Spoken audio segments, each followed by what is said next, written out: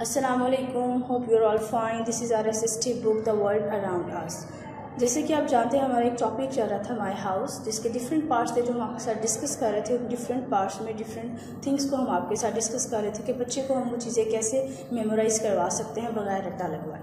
तो देखते हैं आज के इस टॉपिक में हम क्या बच्चों को सिखाएँगे। माई बाथरूम बाथरूम हर घर की एक बहुत ही इंपॉर्टेंट जगह है, जहाँ पे आपके लिए हाइजीनिकली हर चीज़ को यूज़ करना भी एक बहुत इंपॉर्टेंट बात है। तो इसमें जो डिफरेंट चीज़ें हैं आई डोंट थिंक सो कि बच्चे को रट्टा लगवाना है या बच्चे को तस्वीरों से ही वो अब चीज़ें याद होंगी। ये आपकी रूटीन है, ये हमारी रूटीन है, जो चीज़ें हम यूज़ कर रहे हैं, जो इसमें एक्सेसरीज यूज़ हो रही हैं। तो इसीलिए आपने इस चीज़ को बुकिश नहीं बना देना, अपने बच्चे के साथ एक्टिविटी करनी है। लाइक आप बस से पूछ सकते हैं what is this? This is toothpaste.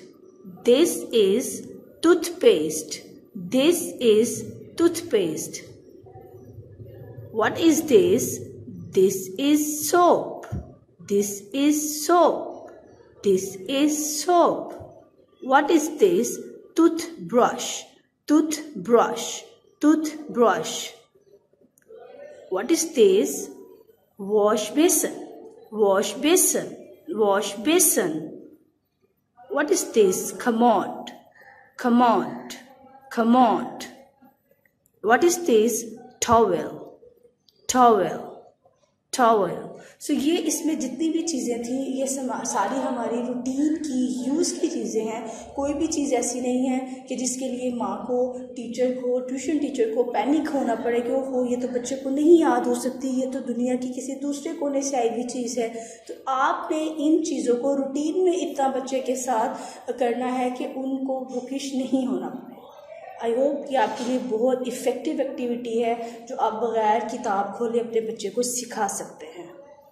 So so, अब देखते हैं next part of our house my kitchen the next part is my kitchen so kitchen is also very important part of our houses इसमें अगर ये किसी घर में नहीं है तो हमारे घर में कुछ भी नहीं है। और ऐसा आजकल के वक्त में है ही नहीं कि किसी के घर में किचन अवेलेबल ना हो। किचन है किचन बड़ी चीज़ें बच्चों को ये आप कह सकते हैं कि किचन में बड़ी चीज़ों के साथ बच्चे इतना फेमिलियर नहीं होते। वो आपको थोड़ा सा उनके साथ करना पड़ेगा, लेकिन आपके लिए आसान है उनको दिखाना।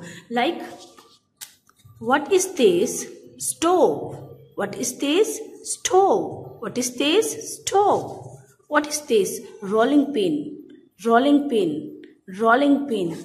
What is this? Pot. What is this? Pot. What is this? Pot. What is this? Pan, pan, pan.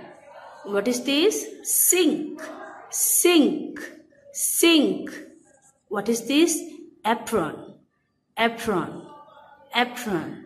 So so, आप जब किचन में काम कर रही हो तो आप बच्चे को बता सकते हो कि बेटा ये देखो रोलिंग पिन मैं इसे किस तरह से यूज़ कर रही हूँ किस लिए यूज़ कर रही हूँ। जब हम रोटी बना रहे हैं तो ये मेरे हाथ में तो ये क्या है? Rolling pin rolling pin like ये चीज़ें अगर आप बच्चे को दिखा दें उसकी मेमोरी में बिठा दें तो आपको रट्टा लगवाने की ज़रूरत नहीं है। चले लेट सी हमारा next topic ji our next topic is my dining room quite possible dining room is not a common room in every house but आप बच्चे को बड़ी अच्छी तरह से एक चीज़ गाइड कर सकते हैं कि this is a corner of our dining यहाँ पे हमारा टेबल है चेयर्स है we have to sit over here और we have to take our lunch और डिनर और breakfast to sit over here so this is our dining area clear dining room is not compulsion कि बहुत बड़ा कोई room सजा धजा तो ही आप कहें कि हम बच्चे को कैसे बताएँ। जहाँ आपका बच्चा जिस कॉर्नर में उसकी एक छोटी सी टेबल चेयर सेट है वही उसका डाइनिंग एरिया है। तो आप इस डाइनिंग रूम को एक डाइनिंग एरिया के तौर पे भी अपने बच्चे के साथ इंट्रोड्यूस कर सकते हैं। जितनी हो सकता है आसानी पैदा कीजिए अपने लिए भी अपने बच्चे के लिए सो so, डाइनिंग में क्या क्या है? चलिए जी देखते हैं let's see was, was, was. Chair, chair, chair. Table, table, table. Table man. Attentive, A attentive. Salt shaker, salt shaker, salt shaker. So so, ये बहुत छोटी और कॉमन चीज़ें हैं जो आपके हर घर में अवेलेबल हैं। ये कोई इतना बड़ा हवा नहीं है कि डाइनिंग रूम नहीं है। बच्चे को कैसे पता चलेगा?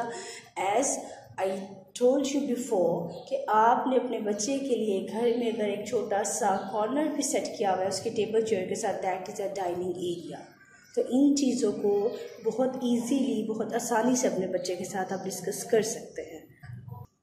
So here all the parts I discuss with you our house, the things we have in our house, the rooms we have in our house. तो आप अपने बच्चे के साथ एक्टिविटी कीजिए बहुत अच्छी तरह से कीजिए बहुत फन के साथ कीजिए ताकि आपको भी इजी रहे और बच्चे को भी इजी रहे थैंक यू सो मच